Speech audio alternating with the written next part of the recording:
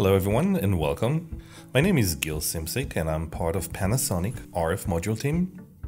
And I would like to welcome you to this short video that will walk you through the steps needed to set up the development environment for the PAN 1740. Let's start with a quick overview of the PAN 1740. The PAN 1740 is an advanced Bluetooth smart module. It offers one of the smallest size available at 9 by 9.5 millimeters with a thickness of below 2 millimeters. PAN 1740 also offers one of the lowest power consumption in the market with 5 milliamps for transmit and receive and about 550 nanoamps for sleep current. Like all other wireless modules from Panasonic, the PAN 1740 offers complementary and comprehensive support from concept to production. Customer software flashing for quantities above 10,000 units, and full regulatory certification covering FCC, CE, and IC for Canada. There are two evaluation platforms a USB stick and an adapter card. The adapter card is part of an Eval kit known as the Experimenter, and it includes a dialog motherboard, few adapter cards, and all needed cables. Both platforms can easily connect via USB to a PC or a Mac. The scope of this video is to walk through new users through the steps needed to set up the development environment on a PC with a Windows operation system. The video will go over the collateral needed to evaluate and to develop software for the PAN 1740, where to find and get the tools and documents. It will walk you through how to download and install tools like the Keil and J-Link, the two main software development tools that are needed. We'll discuss the dialog tools and we'll end up with a setup of the tools and the usage of the connection manager. The collateral consists of documents and tools. We advise you to start with the Panasonic PAN 1740 design guide. You will also need the Keil, which is an IDE and a compiler, the J-Link from SEGGER, which is a JTAG software, some dialog tools consisting of the connection manager, smart snippets, and the SDK you can find a lot of documents that are relevant to the PAN 1740 at the Dialog website. Lastly, you will need some supporting apps. We recommend for iOS the light blue and for Android the blue loop, although you can use any other app. The two major software development tools are the Keil, which will act as the IDE, the compiler, and the debugger. It will allow the user to modify the code to compile it and to set up breakup points if needed for debugging. The J-Link is an ARM JTAG tool that will help the user to flush the SRAM and to run applications. There are also two dialog utilities and tools, the Smart Snippets, which allow you to program the OTP, one-time programmable memory, as well as flush the SRAM, there is also a tool called Connection Manager, which will be discussed at the end of this video. To obtain the PAN 1740, you will have to go to the link that shows in the slides. http column forward slash forward slash na.industrial.panasonic.com download PAN 1740 design guide. As you can see, you will get to a landing page and when clicking on the name of the document, it will download to your PC. To obtain the tools, you will have to go to www.keil.com forward slash arm forward slash mdk.asp. Click on the download. After the download is completed, you will have to double click on the file that you have just downloaded. Follow the instructions. Just keep using the default setting to obtain the J-Link, you will have to go to www.segger.com forward slash J-Link dash software.html.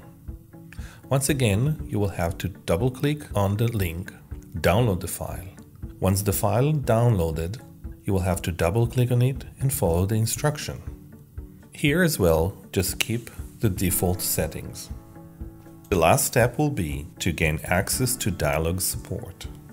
You'll have to go to http column forward slash forward slash support.dialog-semiconductor.com. Click on the Needed to register. You will have to fill out your personal information and company name. After submitting, you will have to wait to receive an approval email. It takes about 2 to 24 hours to receive that email. Once you receive the email, go back to the Dialog support website. Log in.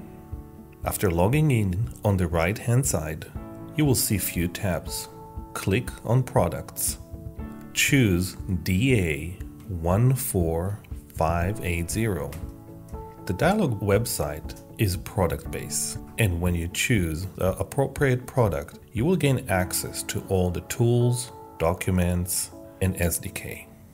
After you choose the DA14580, you will have an options to choose between software development kit, reference designs, tools, etc. Choose the tools and double click on Connection Manager, wait for it to download, and then proceed to click on Smart Snippets. That will download as well. Make sure that you download the latest versions. When done with these two tools, go back and choose the software development kits. Once again, choose the latest version of the software. The latest version software as of today is SDK 5.x. You will have to download it and extract it. Once you're done with installing all the tools, you should have 5 new icons on your desktop. One for the Keil, two for the J-Link, one for the Smart Snippets, and one for the Connection Manager. The next step would be to set the tools. Before using the Keil, you will have to plug in your EvalKit to your PC's USB port. Launch Microsoft Device Manager. In Microsoft Device Manager, under Ports, look for a new port, a J-Link entity. After you made sure that the J-Link is installed correctly and the driver is working, start the Keil by double-clicking on the desktop icon. From the navigation pane, choose Option for Target. A pop-up will show up. In that pop-up, choose the Utilities tab that's the one on the rightmost side. From the drop-down menu, choose J-Link slash J-Trace Cortex. Make sure all other settings are the same as shown in the slide. Finally, click the Settings button. You will see a new pop-up appearing on the screen. In the new pop-up, choose the Debug tab. From the SN drop-down, Choose the serial number that corresponds to the serial number on the back of your EvalKit. It mostly appears as a blue sticker with Panasonic and the serial number on it. Make sure to choose from the port dropdown the SW. The default is JTAG. Once you're done, click OK. Your Keil is now ready to use, and in a separate video, we can discuss how to use the Keil and how to manipulate the code. For conclusion, we are going to talk about the connection manager from Dialog and go through a very quick demonstration on how to use the PAN 1740. Launch your connection manager by clicking on the icon. Once it opens, click on Boot as Peripheral. Make sure that you connected the EvalKit to the USB prior to launching the Connection Manager. After clicking on Boot as peripheral, click on Advertise. At this point, your PAN 1740 is starting to advertise, and in order to find it, you will have to use a smart device. In the example in front of you, I have used an iOS device with the light blue application. After a couple of seconds, you will see a new device showing up with the name Dialog Demo. If you look carefully, you will see that the private UUID on the app is exactly the same as the one showing in the using connection manager.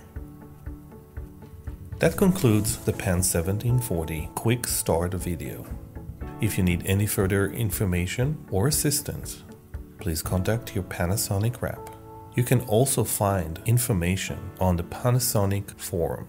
Thank you very much.